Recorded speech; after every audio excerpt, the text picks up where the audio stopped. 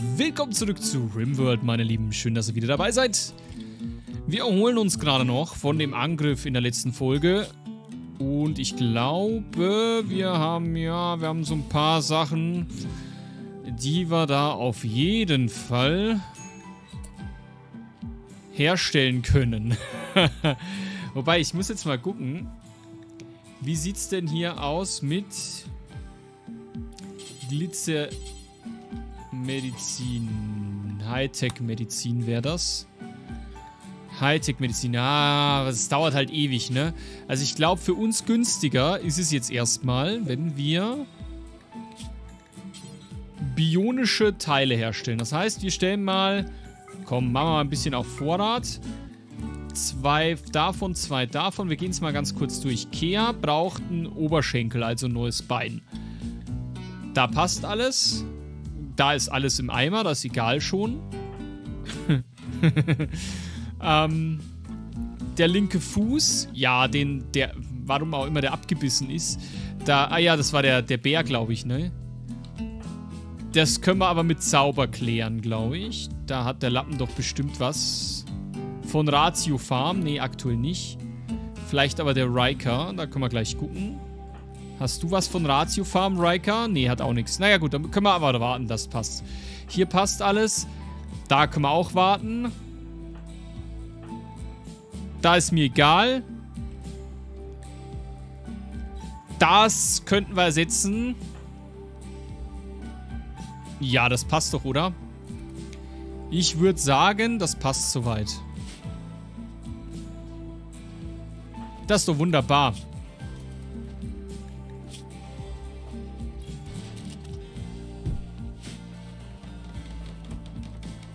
Gut, gut. Nahrung inakzeptabel. Was? Oh, wir haben nichts mehr zu futtern da. Das ist ja, ja schrecklich. Ja, nun, da müssen wir jemanden kurz mal zum Kochen einteilen, ne? Kea. Wir haben echt gar nichts mehr. Also muss, muss Kea jetzt, der ist so halb fit. Der, der kann. Ja, Hink, Hinkebein schafft das. Es muss jetzt gekocht werden, du. Wir haben gar nichts mehr zu essen da. Also ich meine, wir haben noch die Überlebensration, aber das ist halt zu wenig, ne?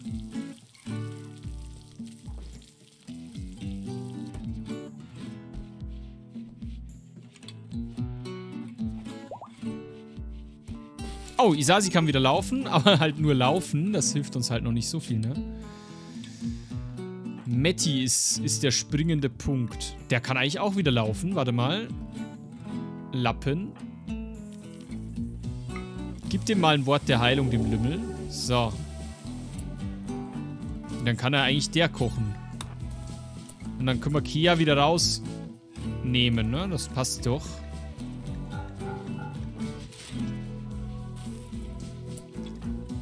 Matti ist fit genug. Ja, mit, der macht das mit dem rechten Arm, rührt er um und ansonsten hinkt er sich fröhlich durch die Welt. Das klappt schon. Bin ich, bin ich guter Dinge.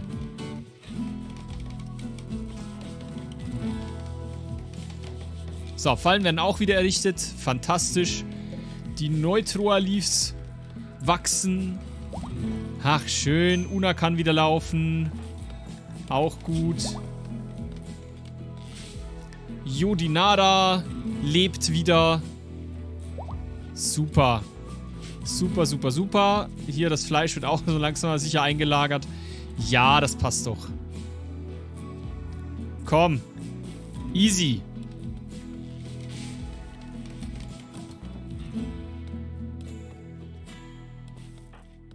Das Lappensche Königreich steht wieder wie eine Eins. Der kleine Lappen steht. Was? äh, Isasi, kann die eigentlich? Ne, die kann noch nicht, ne? Die steht kurz davor, dass er auch Gliedmaßen nachwachsen lassen kann.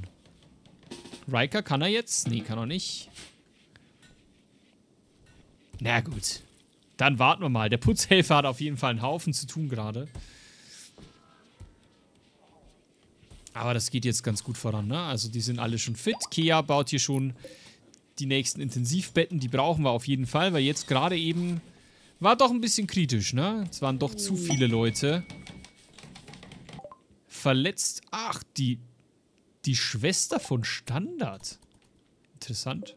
Das ist die Schwester von Standard, Leute. Und das ist OP-Met. OP-Met. Hm, OP-Met. Lecker. Das gute alte OP-Met. Eine Ratte wurde zahm. Ja, die können wir gleich verkaufen. Das ist ja super. Hey, geil. Die kann der imperiale Händler gleich mitnehmen. Die schenke ich euch sozusagen. Ja, geh, geh, gleich mal hin, Lappen. Hau das Ding weg, bevor es noch irgendwas von uns wegfuttert, das Vieh. Geh mal zu Plagal. Guten Tag, Plagal. Wir haben, wir haben theoretisch... Ach, wollte nicht kaufen? Och. Jetzt bin ich ein bisschen traurig. Na gut. Halt nicht. Nehmt halt nicht diese Ratte. Verstehe ich nicht. Wie kann man diese tolle Ratte nicht wollen? Ein Fasan kannst du kaufen. Oder eine Wachtel. Oder wir verkaufen die Megacox. Die gebe ich nicht her, die sind zu cool. Auch wenn sie keine Eier legen, scheinbar. Das finde ich ein bisschen komisch immer noch, aber gut. Sie können kämpfen, ja. Das ist das Wichtigste.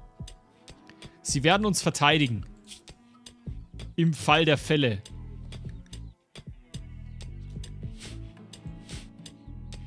Sie werden nicht lange leben. Oh, schaut euch das mal an, wie viele Küken wir jetzt wieder haben, ne? Fantastisch. Toll. Das ist einfach schön. Muss man sagen.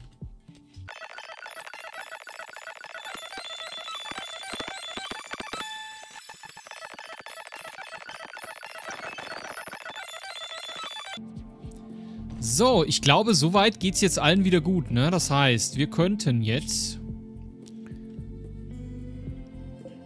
Ich meine, wir haben hier noch ein bionisches Bein. Das kriegt der Lappen zu 100%, ne? Aber hallo. Was ist es? Das linke Bein? Das linke Bein? Das, das... Äh, hallo. Natürlich. Brandnarbe, die entfernen war. Weg damit. Ja. Weg damit. Geh gleich mal... Setz, leg dich gleich mal hin, Lappen. Und Dr. Riker wird gleich vorbeikommen. Dr. Riker, bitte in den OP. Wenn du das verkackst, ne, heißt es Kopf ab, mein Lieber. Du willst, du willst den Lappen nicht verletzen.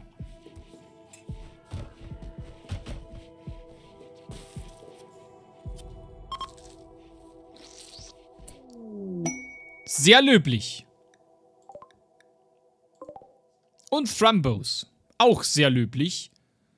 Jetzt bräuchten wir jemanden, der, der zähmen kann, ne? Aber haben wir leider keinen. ich meine, man kann das versuchen, aber es wird wahrscheinlich nicht glücken. Kosten tut's ja nichts. Kannst Thrombos so viel anquatschen, wie du möchtest. Die werden da nicht sauer. Die reagieren dann halt einfach nicht in ihrer grenzenlosen Arroganz. Eklige Mistviecher. So, Kia. Außer Riker kann jetzt. Riker kann. Das ist ja fantastisch. So. Riker. Geh mal rüber.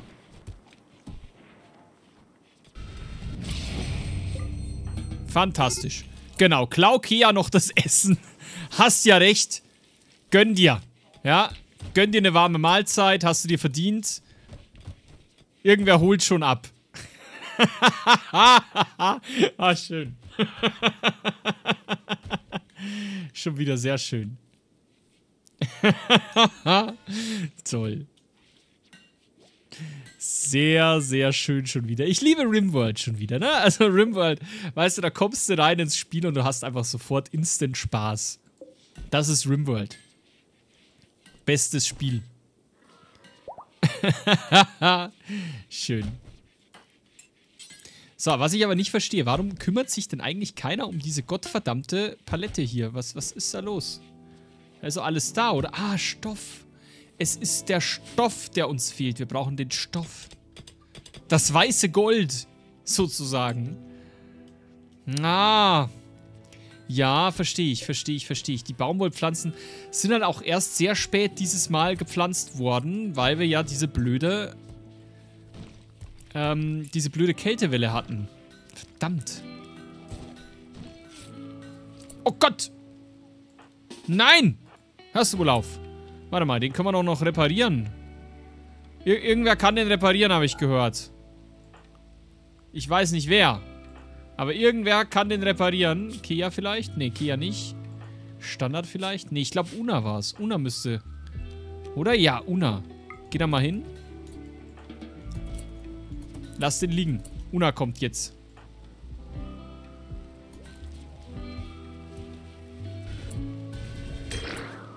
So.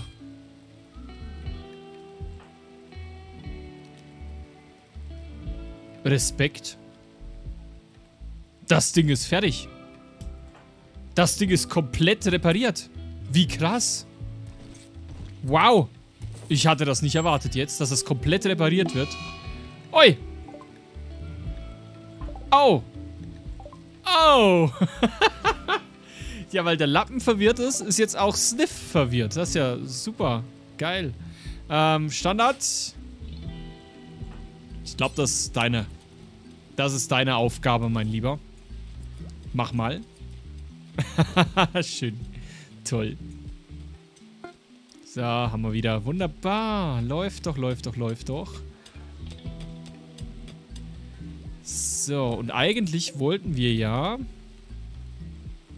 den nächsten Boss rufen, ne? Die Kriegskönigin. Ich weiß gar nicht mehr. Haben wir die jetzt schon besiegt? Ja, nein, vielleicht. Keine Ahnung. Ist auch egal. Wir holen ihn einfach. Wir holen jetzt einfach die Kriegskönigin. Wir gehen jetzt einfach alle Bosse nochmal durch. Und dann passt das, ne? So, schwupps, Kriegskönigin herbeigerufen. Kriegskönigin kommt. Soll sie kommen. Ich glaube, die war schon da. Aber jetzt kommt sie halt nochmal. Warum auch nicht?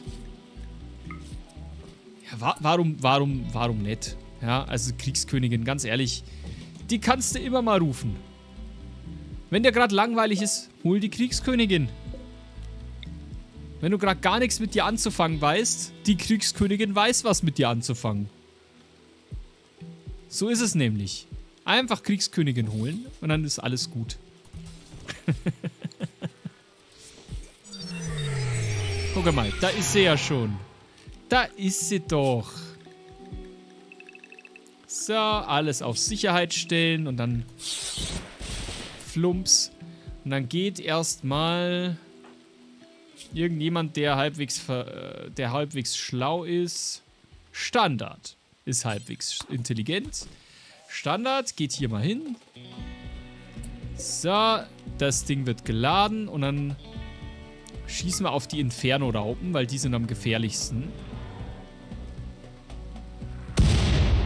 Ja, treffen müssten wir. Das wäre toll. Ne?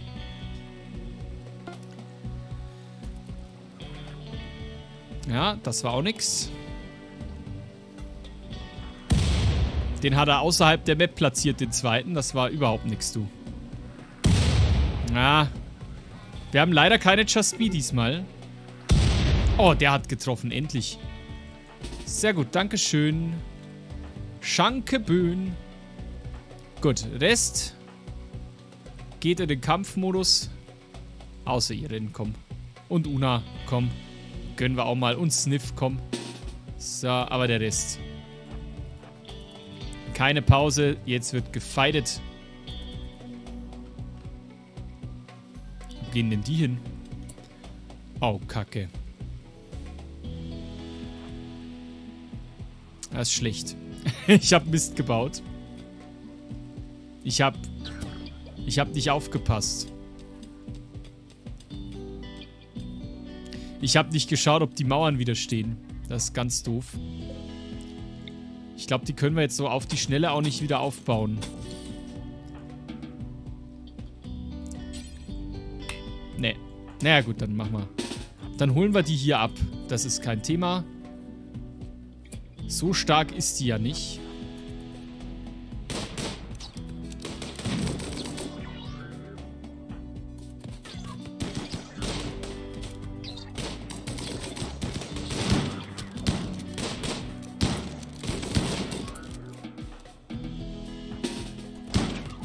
Merlin hat's halt hart verkackt schon wieder.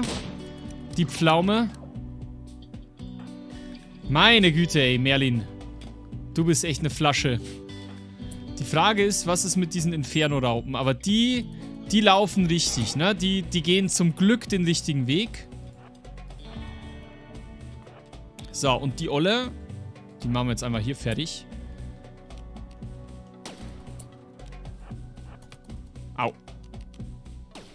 Ja, die trifft, ne?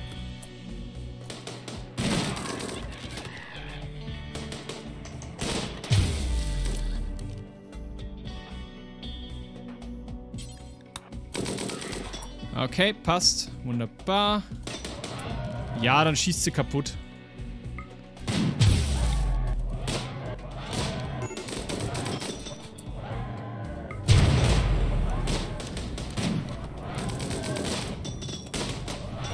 Die hält viel aus, aber nicht genug für uns.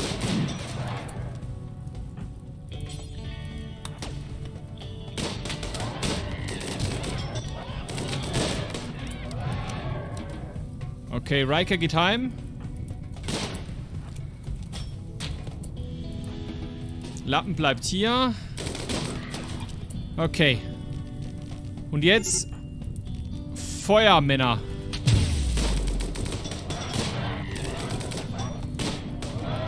Jawohl. Easy. Easy peasy. Hat gepasst, ne? Okay, die leben noch, aber die sind schon so langsam, die sollten nicht mehr lange leben.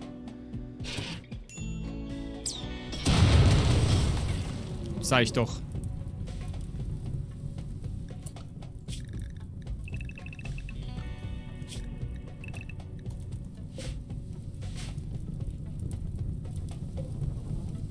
Die letzte wird auch gleich sterben. Ah, die sind die schon so kaputt. Oh, Mann. Das ist jetzt ätzend. Das ist jetzt echt ätzend.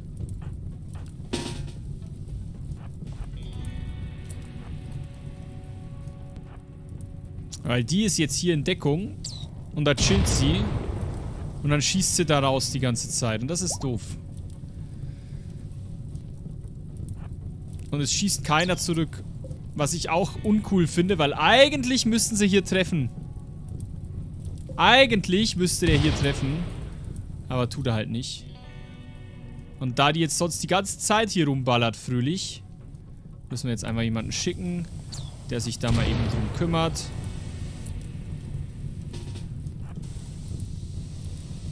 Könnt ihr mal bitte... Könnt ihr mal... Hallo? Schießt ihr mal? Nee? So, jetzt komm, schieß!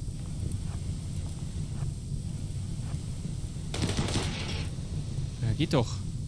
Himmel, Herrgott. Ihr Nichtskönner.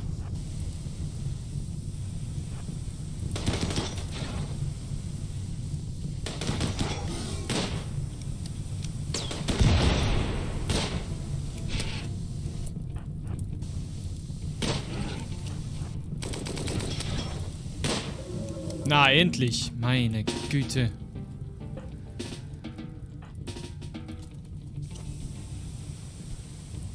Nichts kaputt gegangen, ne? Alles gut. Leichte Verbrennungen, ein paar... Ein paar Kleinigkeiten. Das kriegen wir wieder weg. Ja, es ist kein Thema. Okay. Hat, hat super geklappt. Das Kind müssen wir natürlich wieder in den Sicherheitsbereich äh, schicken. Und die Bots sind auch wieder ready. Wunderbar. Kriegskönigin besiegt. Isasi hat genug von der Zivilisation.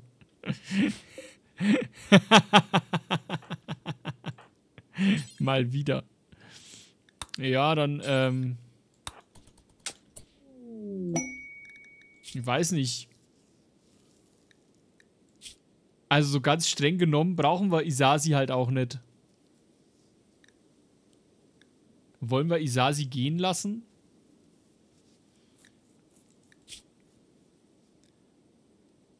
Also, ich sag mal so, Isasi trägt jetzt nicht viel zu dieser Kolonie bei. Will jetzt nicht böse sein, aber ja, sie hat Psylink. Sie ist relativ hoch in ihrer Psylink-Stufe. Aber ansonsten. Pff, pff, weißt du? Ich würde tatsächlich sagen, lass sie gehen.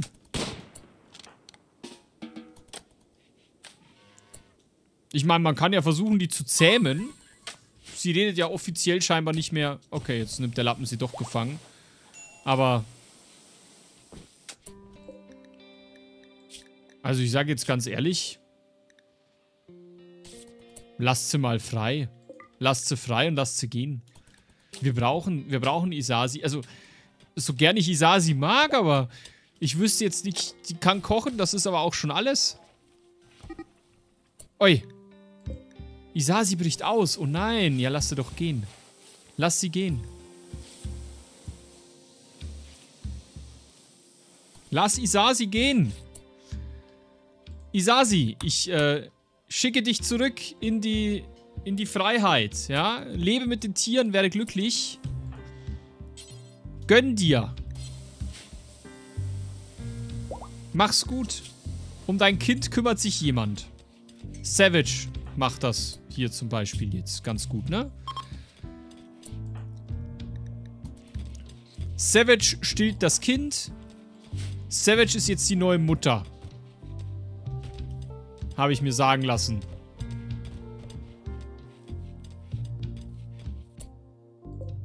Machen wir hier Neu zuweisen.